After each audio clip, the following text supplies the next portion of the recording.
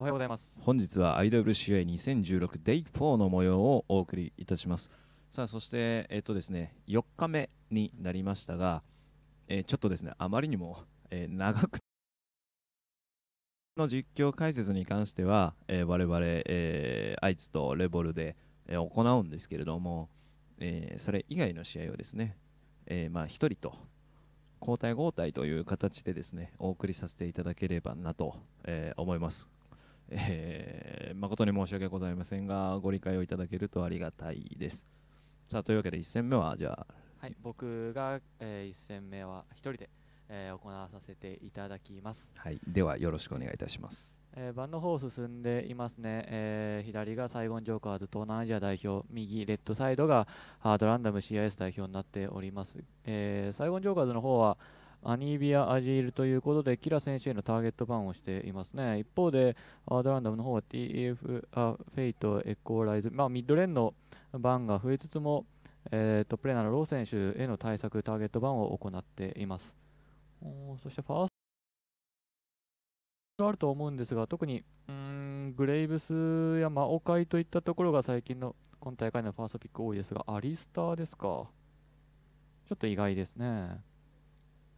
返す方としては、えーハードランダムとしては、スティージョス選手がグレイブス非常に得意としてますから、まあ、グレイブスを取るのはほぼほぼ確定なのではないかなという感じがしますね。そして、ミラクルを、あマオカイシビアを優先しますか。ちょっと SKT のようなあドラフトを進めていますね。えーサイゴンジョーカーズのジャングラー、ジンキーはエリスやあグラガスといったジャングラー、なおかつビルドもクラシカルなあ防妨害点を積んでいくようなビルドが多いということで、グレーブスを取られることはないというところで、シビアとマオカイを優先したのかもしれないですね。それに対してハードランダム、ム側がある程度エンゲージが強力な構成見えていますから、カウンターができるアリスター、すでにもう一人ピールができるチャンピオンを備えることによって、まあ、構成的に整えていくのではないかと思います。あやはりグラガス、そしてカリスタ、これは多分カリスタをシビアに当てていって、レーニングのところでアドバンテージを作っていく、2対2の状況を作っていくといったところを考えているんではないでしょうかね。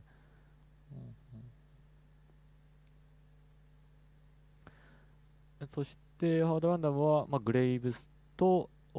サポートは、うんエンゲージを考えるとバードといったところもありますが、リック・クリット選手、バード非常に得意ですしね、まあ、ブラウム、あとスレッシュといったところは候補になると思います。やはりバードを見せてますね。やはりピックしました。まあ、ハードランダムはもう、えー攻めっ気の強い構成になっています。ほぼほ全員がエンゲージしていく、そして集団戦におけるダメージも期待できる構成になっています。ミッドレンがアニレーンからフェイはいませんから、ちょっとミッドのキラ選手のピックが非常に楽しみですね。最近のメタだとミッドレーンはダブルテレポートもしくはウェーブクリアの非常に長けたチャンピオンいずれかになることが多いです。えーその中でこれだけミッドのバンが削られている中でどういったチャンピオンをピックするのかが最後のピックではハードランダムにとって大きな鍵になるでしょうね。方、どうでしょう、まあ、ルブランクといったところハード、えールブランとリサンドラが空いてますからどちらを優先するかということになりそうですね。ロー選手、ポッピーをトップで使うことが多いですから、ポッピーと、うんルブラン予想でリサンドラですね。まあ取り上げたというような狙いもあると思います。えーサイゴンジョーカーでこうなると、エンゲージで先手を取っていくこともできますし、カウンターエンゲージもできる構成になってますね。非常にバランスの取れた構成になっていると思いますね。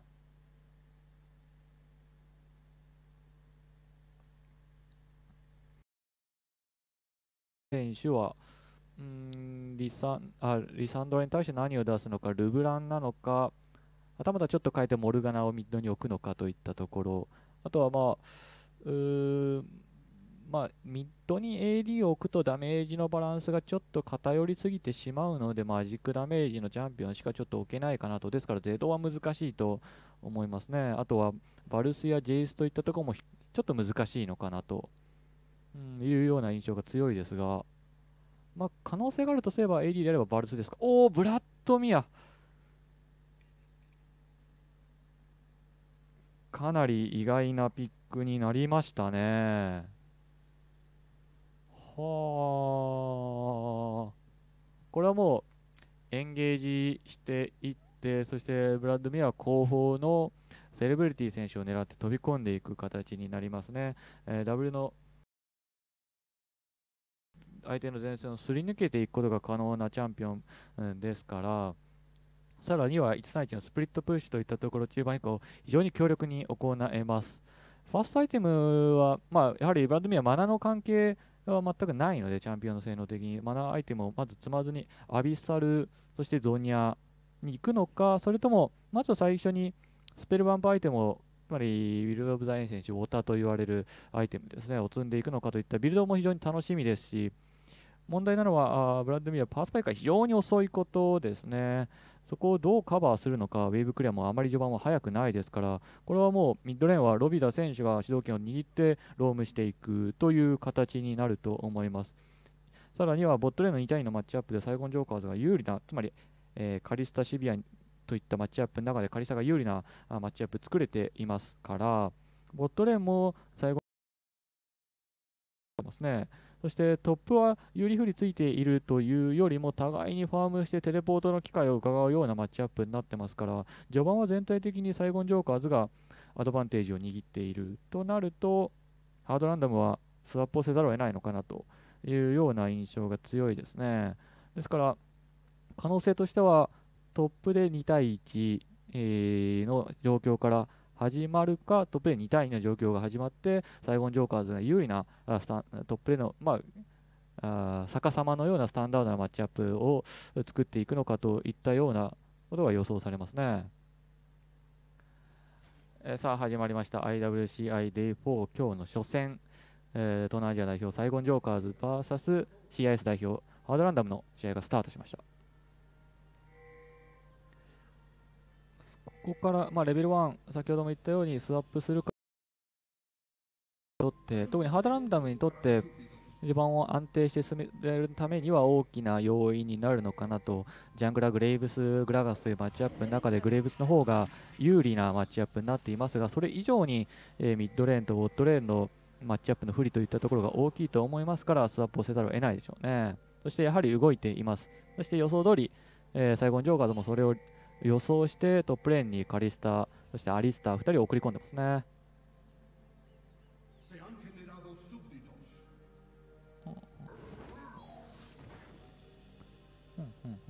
いやそしてステージョ選手、スマーフ選手両者ともにボットサイドから始めていく動き、うん最後のジョーカーズが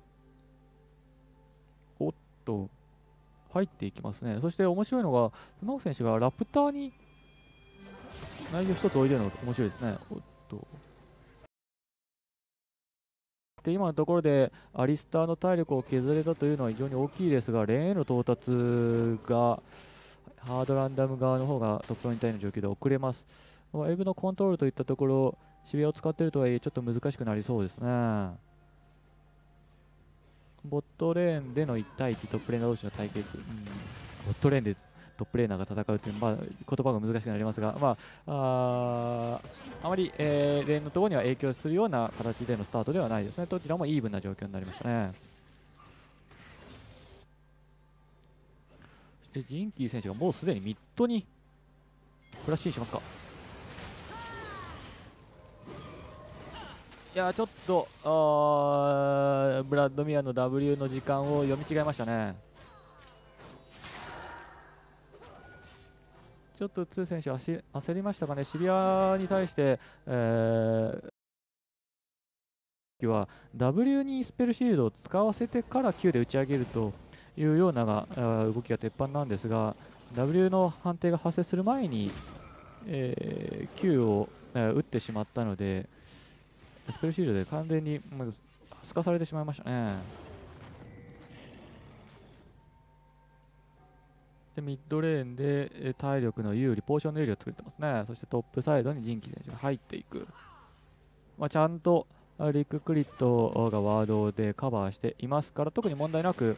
この時点では過ごせそうですね。その間に、えー、スティージョスがファームしていって、グラガスに対してレベル差を作っていくことができると、まあ、ある程度まではコントロールできそうですね。あとはこのトップサイドのスカットラーを取れると大きいですね。うお、近くに行く。ミッドのアドバンテージが取りまだこの状況だと取り切れていない。がトップサイド側の通路を封じるための位置取りを分かるためのワードも置いているというところもあってスティージスがかなり強気にスカッターのコントロールしてますね。ここをハードランダム取れると非常に大きいですからかなり力を注いでますね。うん孤立した？フラッシュアウトしますねこれは。あせずに済みましたか。ただちょっとダイゴンジョーカーズトップでおける2対2のコントロールといったところが取り切れてないのが気がかりですね。ポーションの有利もこれでなくなりましたからね。アリスターサステインがあるとは一方対するリック・クリットが使うバードもサステインがありますからちょっと2もちょっともったいないミスをしたことで序盤を取れるはずのアドバンテージを今失っているような状況になってますね。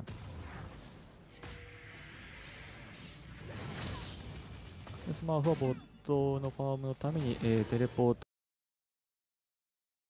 えーボえー、トップで起きている2対のマッチアップの中で少しまだ有利が取り切れていないのでテレポートエンゲージも難しいということの考えのようですね。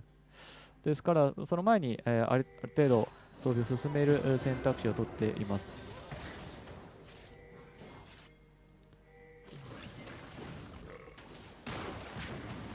かなり積極的にジンキーがステージに対してプレッシャーをかけていきますが。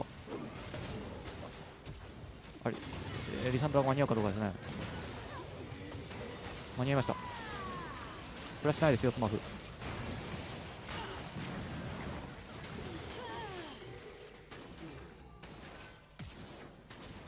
11交換にはなりましたね。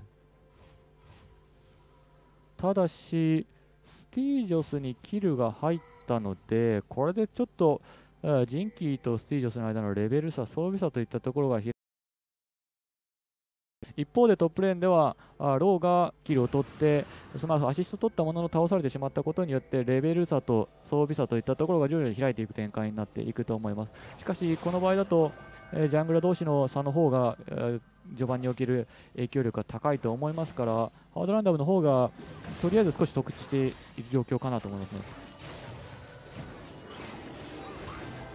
はい、2対2の状況、積極的に仕掛けていきますね。あミラクルもちゃんと返してはいっていますが、今のところで、えー、イグゾーストとヒールダウン、一方でサイゴンジョーカーズ、イグナイトのみですから、もう一度仕掛けていくと思いますね。おっと、いや、またダブルミスった、アルティメットがありますが、これでフラッシュダウン。おサイゴンジョーカーズ全体的にどんどんどんどん仕掛けていきますね、やはり序盤アドバンテージ、えー、握っているレーンのマッチアップという中でそれをより広げていくための動きを続けています。あハードランダムも何とかいなし続けてはいますが、まだ、えー、ですからもう10分、15分は辛い時間帯になるのかなという感じがしますね。そこを返すためにスティージョスがあ人気に対してプレッシャーをかけていきマップのコントロールを取っていくという必要性がありますね。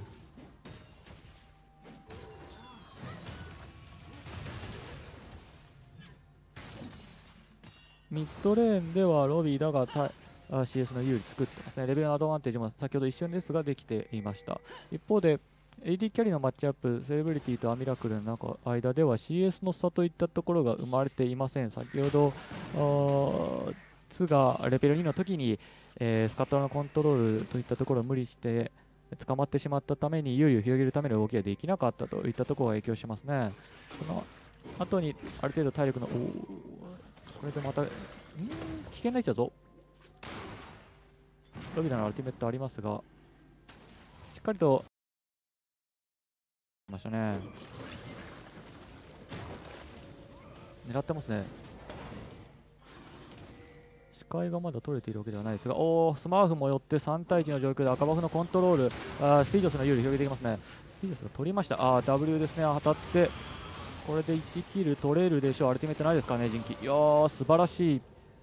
ハードランダム、ジャングルの有利を広げていく動きで、かなり人気に対してプレッシャーかけていってますね。ミッドでちょっと若干不利なマッチアップの中で、そんな中でも敵のジャングル入っていって、有利を取れたというのは本当に大きいですね、ハードランダム。一方で、CS の差はミッドレンで作れてはいます。先ほどサマナスペルを落とすような動きもできましたが、キルを取ってスノーボールともしくはサイドレーンにロームして、えー、サイドレーンを育てていくといった動きが徹底できていないですね、サイゴンジョーカーズ。起点となる、ジンキーがことごとく E のボディスラムをかもしれません CC から、えー少数戦をスタートできていないのでハードランダムに、えー反転する余裕を与えてしまってますよね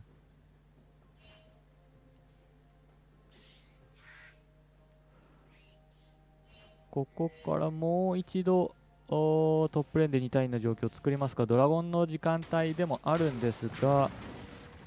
サイゴンジョーカーズとしてはこのトップレーンで2対2のマッチアップ作ることは、まあ、理想の展開です。一方ハードランダムがドラゴンを狙っていかないのは少し意外ですね。魔王界のテレポートも上がりましたしトップに魔王界を送りボットレーンに、えーまミラクルを送るといったところできると思うんですがおっと仕掛けましたセレブリティの Q が当たりませんでしたね。そうすればもっと体力削った状況。ただし今のでビッグまたよりやはり2対2ところトップレーンで仕掛けていく形作れますね。ここにロビダも参加してまだレベル6からになってからのアルティメット通用できていませんから。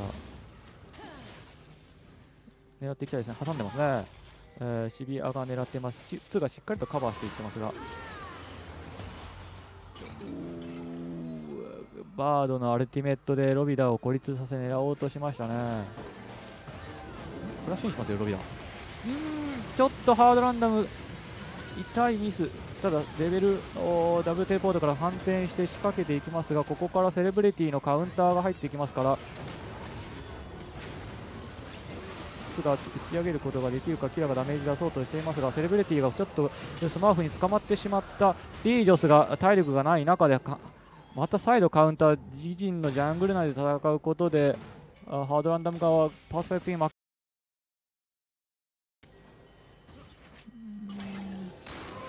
届いた。これはこの時間帯にハードランダム勝てたのは非常に大きい。真っ先にはミラクルがフォーカスされてかなり厳しい状況だったんですがステージョスが逆にフリーだったあウォリアーがすでにできている状況の中で、えーずっとフリーで集団戦ダメージ出せていたのでそこが逆転のきっかけになりましたかね。あとはやはりブラッド・ミアとかミキラーがしっかりとセレブリティのアルティメットの CC といったところを今まで回避し続けたということもあって、えーダメージまだもなかなか出ない中でも DPS を出し続けたことが大きな要因になったと思います。一方でサイゴンジョーカーズちょっと勝たなければならない集団戦パースパイクの時間帯という中で勝てない勝ったのは非常に痛いですね。狭い中でかなり通路が狭い、えー状況の中で集団戦を行いましたからセレブリティがかなかフォーカスされづらいといった特徴も生かしきれなかったことも一つ影響しているようなシーンでしたね。まだハードランダムはトップに送り続けますか。ドラゴンのコントロールはすでに取れてますから、まあ、それが理由かもしれませんが、うんこのトップレンドの2対2のマッチアップ、まだちょっとハードランダムが辛いと思うんですがね。先ほどのテレポートでダブルテレポート落ちました。ロビダのテレポートまだあります。やはりそしてジンキーがトップサイドで入っていってますよね。ただしロビダのテレポート先のワードといったところがちょっと少ないですか？狙ってますね。テレポートしました。ロビダが間に合います。テレポートこれは使わせる形ですね。バードのアルティメットを使ってき寄せられなかった最人気。今ので実質的に落ちたあアルティメットハードランダム側はアミラクルとリッククリットの2つサナースペルは使っていません。一方サイゴンジョーカーズはロビダンのテレポートを落としてしまいました。ということを考えると人気が間に合います。スタンは入りませんでしたがえー先ほど人気アルティメット使いましたからちょっとここ戦い続けるのは難しいんじゃないでしょうか。あ、ま、スマーフがボットレーンから間に合いましたね、ロビーだが諦めましたね。またしても人気のボディスラムが入らない。うーんちょっとサイゴンジョーカーズペースをつかみきれていない。ハードランダム側の,、えーこのスティージョスを中心とした動きに対して常にこう先手を取られ続けてますね。先ほどボットレトップの2対2の中で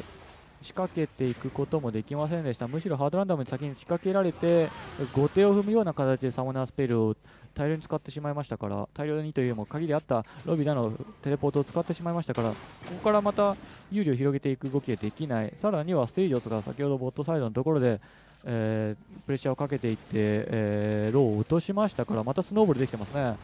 うん。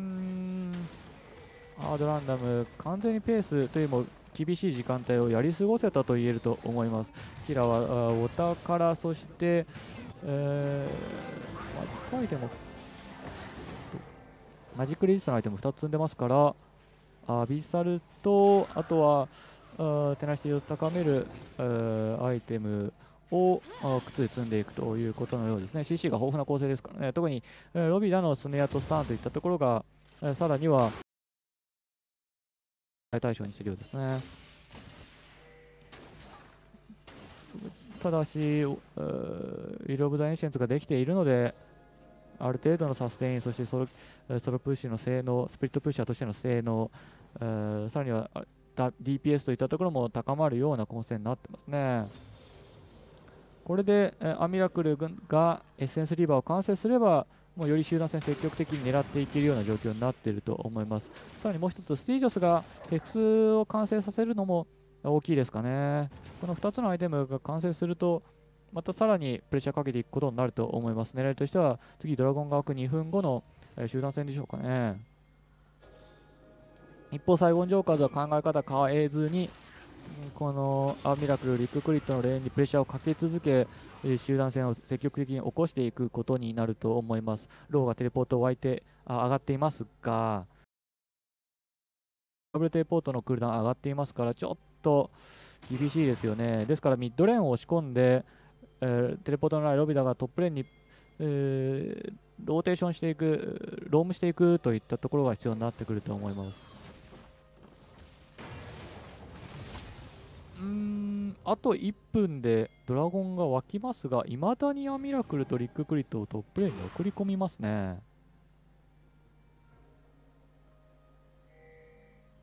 ドラゴンを意識してもいいのかなと思うんですが、当然整ったと思いますし。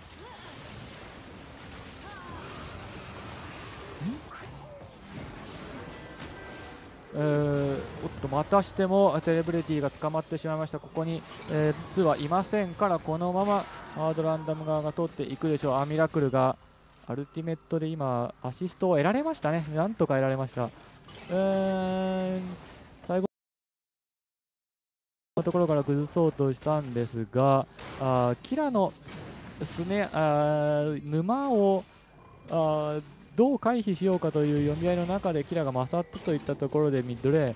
サモナースペルフラッシュないなかったんですがキラを倒せませんでしたか？なり痛手後を被りましたね。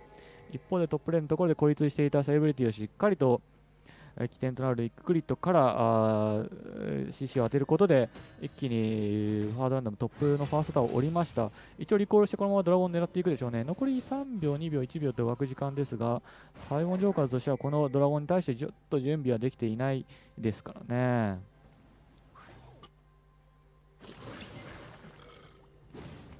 カウンターでリフトヘラルドを取るしかありませんか。ここまでのところスティージャスを中心としたプレッシャーといったところかなり難しい作業だったと思うんですがハードランダムが丁寧に丁寧に返してに弱い時間帯をやり過ごしたと言えると思いますね。ここからはハードランダムの時間帯になったと思いますね。キラがアビサルが完成しました。ちょっとここからサイゴンジョーカーズ集団戦を行ったとしても CC チェーンが正確に決まらない限りは勝ち目がちょっと薄くなってきましたね。ギフトヘラルドのバフを生かしてドラゴンと、えートップのファーストタワーのトレード。ミッドのファーストタワーを守れ守れればあ非常にいいトレードになると思いますが。問題となるのはスマーフテレポートするためのワードしっかりと置けてますから集まりすぎてしまうとあミッドに集まりすぎてしまうと CC チェーンがそのまま食らってしまう。リッククリットのアルティメットからキラが近づきそしてキラのブラッドミアのアルティメットからさらにはシガの AOE ダメージが強化されるといった集団戦の展開がありますからね。プレッシャーを受ける受けつつもさらには131のスプリットプッシュをハードランダムおっとまた仕掛けていきました。シビアとバードのアルティメットと渋谷のアルティメットでロビーらのフラッシュが落ちたということを考えると非常に効果的なトレードになりましたね。そしてそのまま131のプレッシャーをかけ続けます。先ほどの動きでもちろんあハードランダムはエンゲージをするきっかけのスキル2つ失ったんですがそれ以上にミッドの周辺の視界のコントロールを取りやすくなりましたよね。ロビダがかなり前出づらくなっていますから。となるとよりサイゴンジョーカーズに対するマッププレッシャーといったところをハードランダムに活かせるような状況になりました。かなり、えーまあ、キルを取れればベスト。そうでなくても次の展開がかなり楽になるということで非常に素晴らしいハードランダム仕掛けできてますね。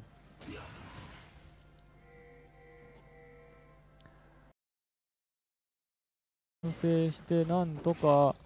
返していきたいところですが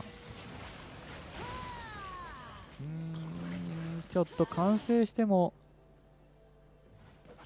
このスマーフがアーマーササンファイアできていますしもうそろそろこのリコールで、えーまあ MR のアイテムビサージュが完成すると思いますからしましたね。ちょっと厳しいですね。このタンクスマーフしかタンクはいないような状況ですがそのタンク1人も落とすことすらかなり難しいような状況になりつつあります。一方でポッピーも同じアイテム完成しています。同じような装備になってますね。ロートセープスマーフは。しかしそこに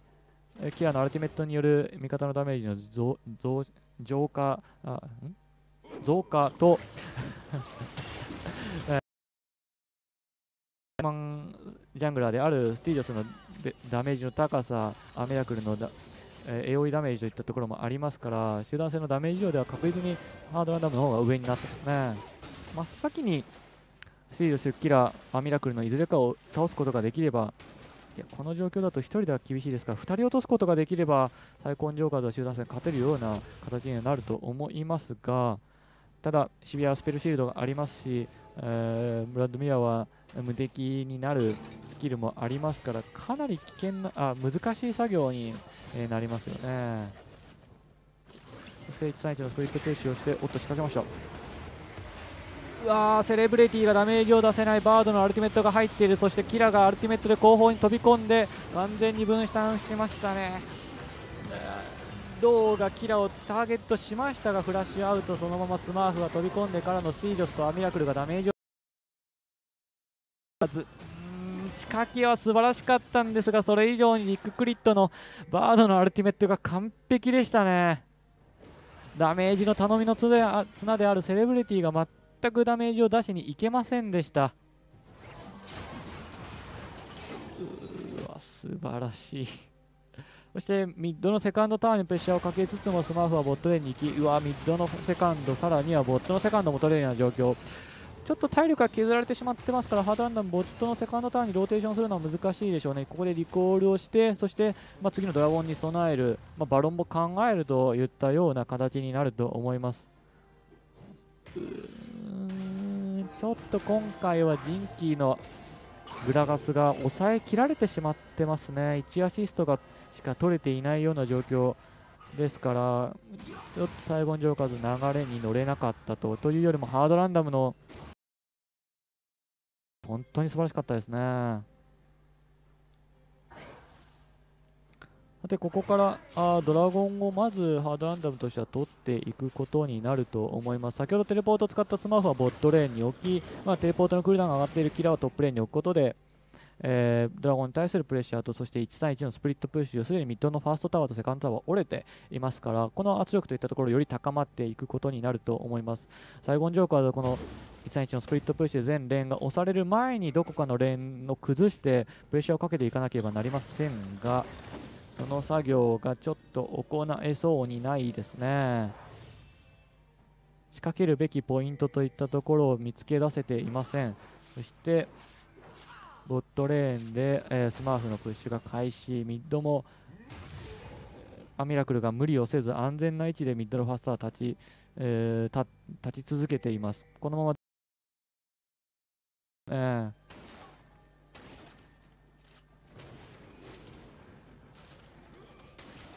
ボット、そしてドラゴン裏の視界といったところ、スティードスがしっかりと取りに行ってますね。こういったところを本体であれば狙いたいんですが、グレーブズ自身が硬いこと、リッククリットのサポートがあること、ここ狙いましたね。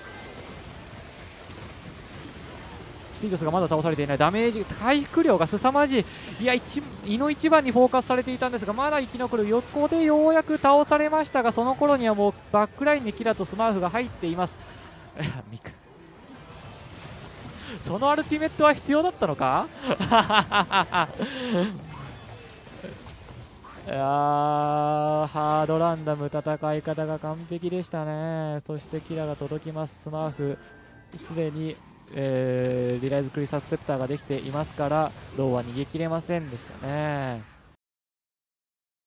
サードタワーを取ってインヒビターまで取れるような状況だと思います。24分ですが。あインヒビター厳しいですか？ボットセカンドタワーとドラゴンにしますか？あ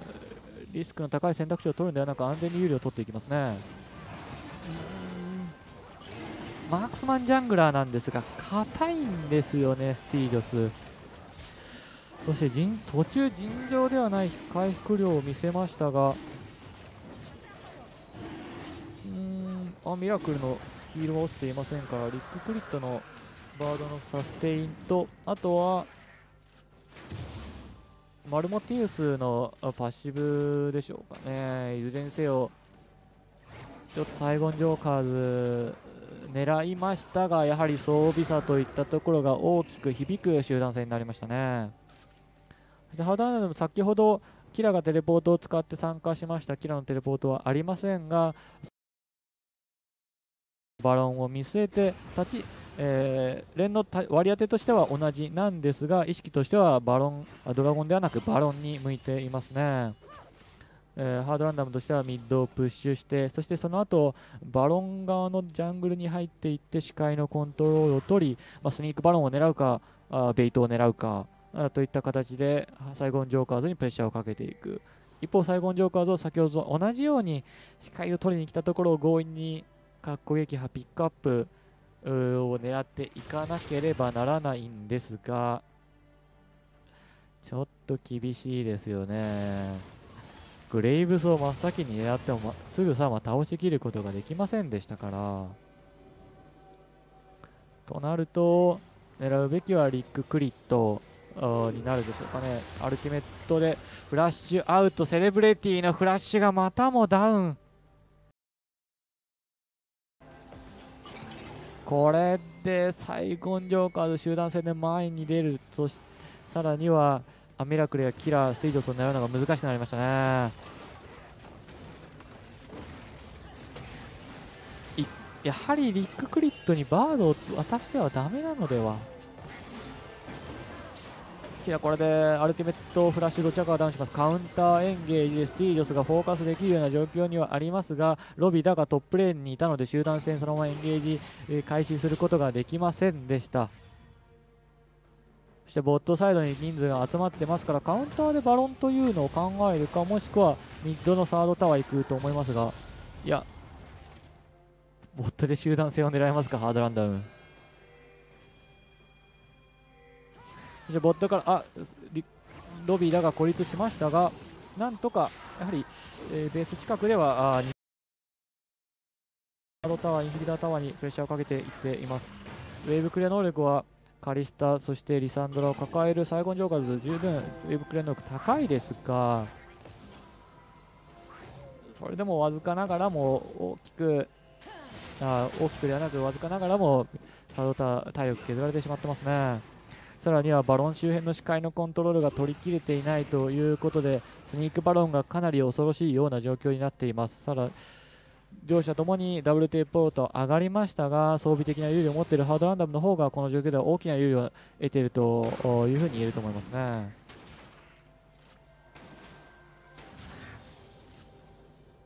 今、画面下では各チャンピオンのえー、獲得ゴールド量が現れていましたがあそれぞれのキャリーに4000ゴールド以上の差がはあ出ていましたね。グローバルゴールドでも1万2000ゴールド、えー、集団戦構成でありますから的確に先手を取って CC チェーンからの AOE ダメージを重ねることができれば、まあ、返せない返すだけのポテンシャルはあるとは思いますが、ただ CC チェーンを釣る対象が先ほどからあ申し上げているように、キラが使うブラッドミア、アメラクルが使うシビアということで、自衛能力に長けたキャリーということで、CC チェーンすること自体が非常に困難な作業になっているということもあって、その可能集団戦で逆転する可能性すらかなり低いような状況になってますね。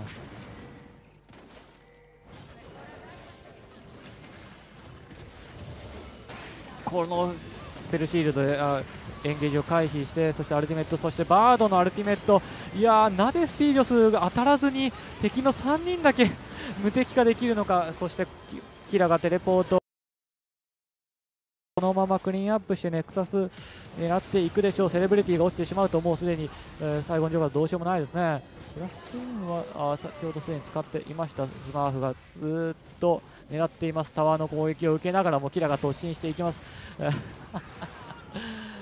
このままあハードランダムはエンドイット狙っていくでしょうね。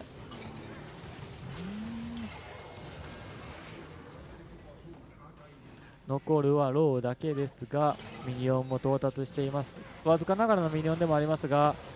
キラとあミラクルがいますからそのままタワーも降り切ってネクサスまで破壊していくでしょう。IWCI デイ4今日の初戦第1戦、えー、サイゴンジョーカーズ VS ハードランダムはハードランダムの勝利となりました。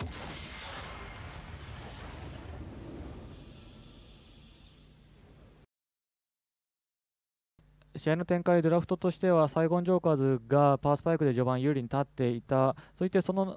ドラフトの有利を生かして序盤から積極的に仕掛けていきましたが、ハードランダムのいなし方が非常に素晴らしかったですね。痛手となったのはスカットラのトップサイドのコントロールのところで、ちょっと競ってしまって、えー、ミッドレーン、トップレーンの状況が良い中良くない中で競ってしまったことで、スティージョスに、えー、プレッシャーを受けてしまって下がらざるを得ないような状況になってしまった、そこからスティージョスがグレープスのパースパイクを生かしたスノーボールといったところでハードランダムを支えましたね。この試合ハードランダムのうまさ、そしてスティージョスのグレイブスの能力の高さ、さらにはやはりリック・クリットのバードのポテンシャルの高さが垣間見える試合になったと思います。ではあ第2試合が始まるまでインターバルとさせていただきます。